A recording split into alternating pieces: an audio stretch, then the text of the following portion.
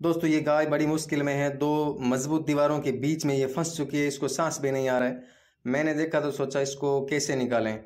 फिर मैंने दोपहर का वक्त था। गाय को बहुत प्यास लगी थी और गाय बड़ी परेशान थी। तो मैंने लोगों को इकट्ठा किया और गाय को निकालने का प्रयत्न किया और सूरजाराम जी जाखड़ ने ने गाय को निकालने की कोशिश की। ये काम कामयाबी हो गई। बहुत बहुत बधाई इनको। हाँ तक और और ठोको निकले निकले। निकलेगी। है? निकलेगी अब तो।